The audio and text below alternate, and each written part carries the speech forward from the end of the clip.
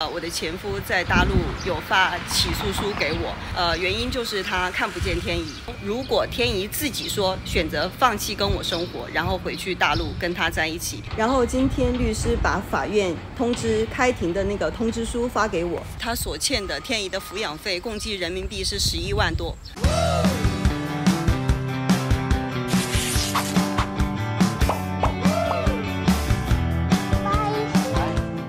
大家好，我是潇潇。你看，背了好多东西哦。我现在要把给阿乌准备入园的东西先送去幼儿园啊。我今天终于迎来了好消息，天怡的抚养权的最新进展，然后迫不及待想跟大家分享。再稍等我一下下，我把它送过去就跟大家去聊聊啊。第一次在台湾准备小朋友。进幼儿园之前的东西，然后因为很多到吃碗的盆，吃碗的盆，到睡觉的那个被子，然后还有擦的屁屁膏什么，就很多。然后我就问我 live 里面的朋友，我说正常在哪边能一站式买完？啊，大家都提了好多意见。后来有人跟我讲说，小北百货是北部妈妈的最爱，二十四小时可以营业的。然后我就在想，白天我们真的很忙，后来就晚上抽空去了小北百货。我的天，进去以后真的让我惊讶，什么东西都有，万件商品都不夸张。哎，可是比较可惜的是，东西虽然很多，但是符合幼儿园尺寸的，然后样子的，好像没有找到很全。所以昨天又跟老肖去那个家乐福、维新啊这些地方。把零零碎碎的都买了，哦，突然发现孩子去一趟幼稚园真的太不容易了，准备的东西真的是超多。好了，已经都准备完了，马上送过去。今天的影片开始之前，请点赞、订阅、分享、开启小铃铛哦。好，交完幼庆的东西，我出来了，啊，迫不及待的想现在就跟你们分享。你看，我还没回去。一只狗狗在陪我，我坐在路边的这个长椅上。呃，一直关注潇潇的应该知道哈，就是潇爸潇妈这次回去的时候，就是比较着急，主要就是因为呃我的前夫在大陆有发起诉书给我，让我归还抚养抚养权。呃，原因就是他看不见天怡，呃，说没办法看见他，觉得我剥夺的剥夺了他的那个探视权。嗯。后来肖爸回去以后，积极的就是帮我联系了律师，当然就是我们家里的一个亲戚，呃，他是在律师事务所，然后呢就帮我们把这个案件接下来了。其实当时接下来以后，他觉得问题不大，为什么？就是因为第一个，他不能探视，不是我主观决定的，就是我故意带着孩子躲到哪个地方不让他去看，或者他上门了以后，我拒绝他来看孩子，我没有这样的行为，他也没有证据。证证明说是因为我的主观意识不让他看孩子，那来到台湾是因为我嫁到这边，而不是说为了躲避他，所以把孩子带到这边来。那当然，还台湾，你如果有本事来，你可以来，我没有说在里面做任何的一个小动作，呃，阻扰他过来，所以他这个诉讼就是呃不成立的。第二个。大陆的一个法律就是，如果说，呃，八岁以上的孩子他是有一个选择自主权，呃，也就是说，如果天怡自己说选择放弃跟我生活，然后回去大陆跟他在一起，那他是有可能就是抢回。呃，那个天怡的一个抚养权，但是天怡从小到大都生活在我身边，这种事情是永远都不可能发生的。所以当时在开庭的时候，呃，也当时也连线了天怡，呃，用微信联系连线了天怡，然后明确的法官在问他他的意愿，天怡也是明确的回复了，说我不愿意，我要跟妈妈在一起在台湾，所以他起诉我的这个案件，也就是完全的败诉。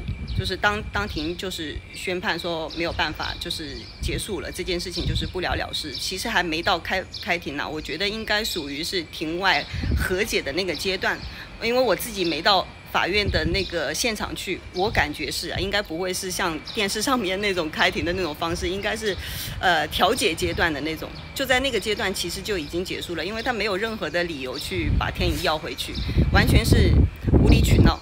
其实肖爸肖妈回去的那段时间，他有到我家里面去找过肖爸肖爸肖妈，嗯，态度是依旧的十分恶劣，很没素质的那样。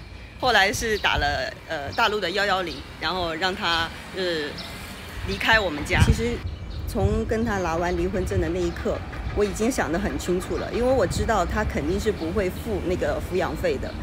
他的性格，因为我太了解了，呃，我也不强求。当时我的心态是我也不强求，因为我不想因为每个月两千块跟他扯不清理不清的关系。但是经过他起诉我的这件事情，我发现他好像根本就不领我的情。嗯，他觉得，而且把不付天怡的抚养费，感觉已经变成了一个可以炫耀的资本，或者说是呃理所当然。嗯，没有觉得是亏欠。而且他上门去对肖爸肖妈的态度，真的让我觉得这种人不给他一点教训，他会觉得我们家是比较老实的人，可以欺负到底的那种。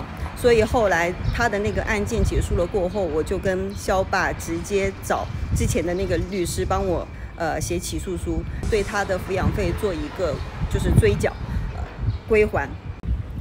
如果他现在在大陆过得很辛苦，那我觉得哦算了，就是。得饶人处且饶人，呃，这件事情也就不跟他再说了。但是，呃，那件事情过后，就起诉我的那件事情过后，我有朋友也会说，经常在酒吧啊那些娱乐场所看到他，就是基本上他的现在生活也处于吃喝玩乐的状态。那我考虑了一下，嗯，天怡慢慢的大了，与其让他现在没有任何的责任。去潇洒去挥霍的话，不如把那笔钱给要回来，至少还可以给天怡存一笔钱，让他呃有一个保障。哦，狗狗也在听我讲话，谢谢你哦。所以我就跟肖爸呃商量，正式的起诉他，然后起诉书交上去，其实已经有一两个月的时间了。然后今天律师把法院通知开庭的那个通知书发给我，是下个月的三号。阿乌又在家里面闹人了。我现在边走边跟大家说，呃，然后我的主要诉求就是归还从二零一九年一直到现在他所欠的天怡的抚养费，共计人民币是十一万多。我也我也当，我今天也问了律师，像我这样的诉讼，就是成功胜诉的成功率大概是多少？他说是百分之百，因为离婚协议上边就是白纸黑字写的很清楚，他是赖不掉的。但是我现在比较担心的就是他败诉了，但是他不给钱。那律师今天也跟我在讲，如果说他不给钱的话，法院会进行强制执行，也就是他名下所有的呃银行卡，还有他的支付宝，还有包括微信里面的所有钱，他会冻结起来，然后强制执行，再拨到我的户头上。但是他还是可以钻空子，也就是说他把资产转移到他妈妈的名下或者他爸爸的名下。在法在法院强制执行的时候，发现他呃所有的存款都没有，也就是没有资产可以执行。那我也问了律师，如果出现这种情况的话会怎么办？他说法院会把他设定为老赖。我不知道，嗯，台湾的朋友懂不懂这个？就是大陆会有一个限制高消费的那种呃老赖名单，就是欠的钱不还的那种。那如果变成这个老赖名单的话，就会限制他什么呃买飞机票啊或者高消费呀。我们代理的律师讲，他现在那么年轻，应该不会让自己变成老赖的名单，因为他要用身份证。如果真的是变成那个名单的话，就是以后他工作啊或者出去呃用身份证的时候，就会有很多的限制。所以潇潇追讨天怡抚养费的这个事情，呃长路漫漫，真的也很难。但是不管怎么样，我觉得今天是一个很好的开始，因为我感觉我已经忍让了很久很久，一直被欺负到已经没有退路了，这是我绝地反击的开始。我也觉得我好像嫁到台湾以来以后，变得勇敢了很多。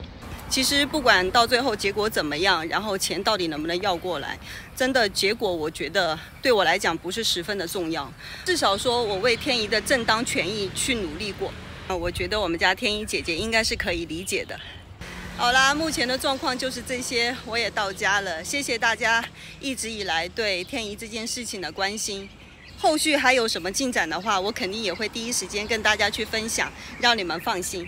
今天比较让人开心的消息就是天怡永远都不会离开台湾。谢谢所有关心、喜欢天怡的朋友，所以请你们放心哦。好啦，下面期待我们六月三号开庭后。潇潇给大家的回复，希望是个好消息。拜拜！记得点赞、订阅、分享、开启小铃铛哦。